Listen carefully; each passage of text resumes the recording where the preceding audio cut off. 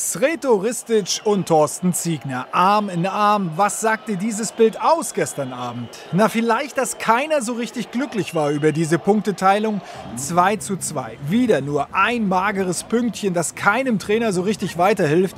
Das Spiel aber, das war zumindest turbulent. Für den neutralen Zuschauer gut anzuschauen und es steckte viel drin. Leider haben wir jetzt äh, wieder für diesen Punkt bitter bezahlen müssen. Wir haben Tunai mit fünfter gelbe Karte. Wir hatten Bolicki verloren mit einer muskulären Verletzung und jetzt auch noch Redemann. Ich finde, dass Halle heute die bessere Mannschaft war. Ähm, liegt aber weniger daran, dass ich, äh, also ich glaube nicht, dass Halle heute ein überragendes Spiel gemacht hat, sondern ähm, meiner Ansicht nach war das heute unser schlechtestes Auswärtsspiel diese Saison. Wir sind eigentlich auswärts eine gute Mannschaft. Begonnen hatte alles mit einem herzlichen Hallo. Um 17.42 Uhr war der Bus der Duisburger vorgefahren. Thorsten Ziegner freundlich dreinschauend. Von 2018 bis 2020 war er ja hier Cheftrainer. Aus alter Verbundenheit hatten sie ihm extra den roten Teppich ausgerollt. Der ehemalige Sportdirektor Ralf Hesskamp, der war schon ein paar Minuten vorher da, hatte ein Geschenk mitgebracht für alte Freunde. Ich bin äh, seit zwei Jahren nicht mehr hier gewesen und das ist schon was Besonderes, weil ich habe mich hier wirklich sehr wohl gefühlt und von daher ist es schon was Besonderes für mich. Viel Herzlichkeit also noch zwischen allen Beteiligten und der Ziegner und Hesskamp war ja auch nicht alles wirklich schlecht. Aber all das musste ruhen, zumindest solange der Ball rollte. Beide Mannschaften, sie brauchen ja dringend Punkte. Die Bühne war bereitet, tolle Atmosphäre in Halle, auch wenn das mit der Pyrotechnik natürlich ein Nachspiel hat. Thorsten Ziegner und Sreto Ristic, beide stehen unter Zugzwang.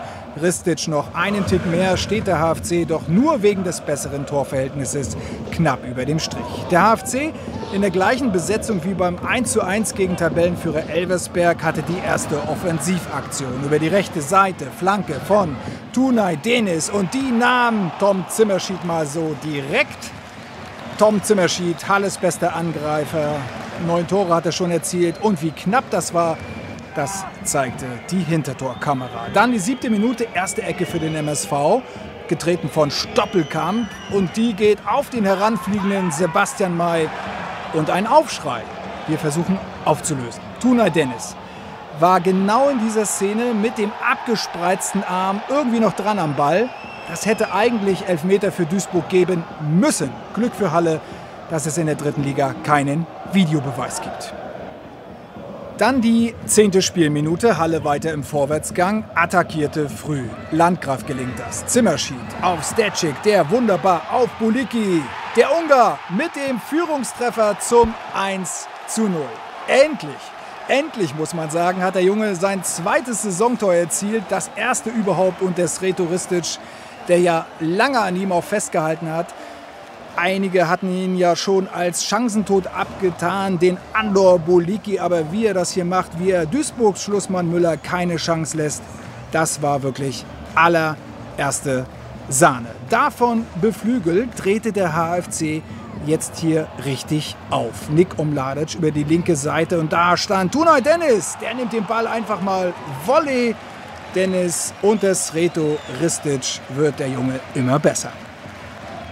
Dann hinein in die 17. Spielminute. Da gab es wieder eine Duisburger Ecke, die dritte schon. Und wieder suchten sie Sebastian May aus dem Hintergrund. Baccalords!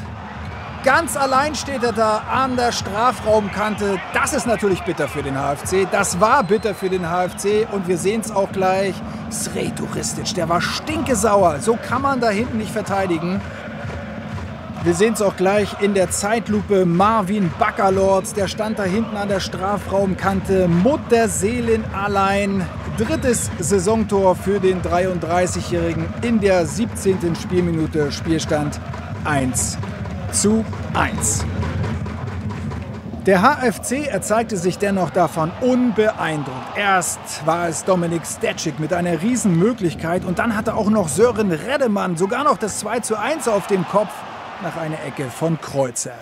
Dann lag plötzlich der Torschütze zum 1 zu 0 auf dem Boden. Andor Boliki, 42. Minute. Was war passiert? Wir sehen es hier im Sprint ohne Gegnereinwirkung. Verdacht auf Muskelfaserriss. Keine gute Nachricht für den HFC. Für den Ungarn ging es dann auch nicht weiter. Sebastian Müller kam für ihn rein. Dann war auch schon Halbzeit, 9012 Zuschauer. Sie sahen eine muntere erste Hälfte, aber bitte festhalten, die zweite, sie wurde noch rasanter. 58. Minute Und da stand Sebastian Müller, Mutterseelen allein am langen Pfosten. Und es stand hier 2 zu 1 für Halle. Und das war absolut verdient bis hierhin. Sretoristic freute sich, Sebastian Müller völlig frei in dieser Szene. Die Leihgabe von Arminia Bielefeld mit seinem zweiten Saisontreffer erst im ersten Spiel gegen Zwickau. Das war im Juli letzten Jahres, da hatte er zuletzt getroffen. Jetzt 21 Spiele später, da knipste er endlich mal erneut. Es war wirklich ein Spiel mit vielen Offensivmomenten. Moritz Stoppelkamp, der prüfte hier mal Felix Gebhardt, kein Problem für den U23-Nationalkeeper. Dann die 60. Minute. Wieder eine Duisburger Ecke und Sie ahnen es, der Ausgleich für die Meidericher. Diesmal nur zwei Minuten nach der HFC-Führung. Ausgerechnet der Ex-Hallenser Marvin Ajani mit dem 2:2 pures Chaos im HFC-Strafraum. Sören Reddemann und Marlon Frei am Boden. Kuddelmuddel im Fünfer. Keine klare Zuordnung. Dann wieder mal der HFC, der eingewechselte Herzog, der für Omladic kam. Der Ball ging an den Pfosten. Vincent Müller im Duisburger Tor wäre da nie und nimmer rangekommen. Dann die 78. Minute. Wir sehen eine Kreuzerflanke und Widerstand Sebastian Müller. Gold richtig vorne im Fünfer. Aber das nennt man dann wohl maximal unglücklich. Der HFC versuchte alles. Versuchte hier auf Sieg zu stellen. Endlich mal ein Heimsieg. Endlich mal ein Dreier. Die Rot-Weißen, sie hätten sich nach den gezeigten Leistungen den auch längst mal verdient gehabt. Drangphase. Hüpfende Fans. Und dann plötzlich ein Stimmungskiller. Sören Reddemann sei in der 84. Minute rot. Was war passiert? Ecke Halle und dann zerrten, klammerten und schubsten sie sich. Trotzdem Schiri Bacher mit einer sehr strengen Regelauslegung. So wie es der Schiri erklärt, habe ich die Nerven verloren. Ich wollte mich einfach nur befreien, habe ihn weggestoßen wie ganz normal, aber ja, dass der Schiri halt so das aufnimmt, dass es angeblich eine Tätigkeit ist, kann ich nicht beeinflussen. Das ist halt dumm von mir jetzt im Endeffekt. Halle ab da irgendwie aus dem Konzept. Und plötzlich bot sich für die Duisburger sogar noch mal die Chance auf den Siegtreffer. Julian Hetwer. Aber Felix Gebhardt erhielt in der Schlussminute den einen Punkt fest, wie schon zuletzt in Elversberg. 2 zu 2. Im siebten Spiel unter Ristic blieb der HFC zwar ungeschlagen, schaffte allerdings auch wieder keinen Dreier. Es ist auch eine, eine, eine Geschichte äh, der Qualität und es ist nun mal so, dass wir eine Mannschaft sind, die öfter vors Tor kommen muss, um Tore zu erzielen. Das ist uns bewusst. Wir rennen nicht davon weg und das werden wir auch in der Zukunft tun. Thorsten Ziegner holte einen glücklichen Punkt bei seinem Ex-Club. Für den HFC wird es allerhöchste Eisenbahn für Siege. Die nächsten Spiele werden entscheidend gegen Dortmund 2, Aue und Bayreuth.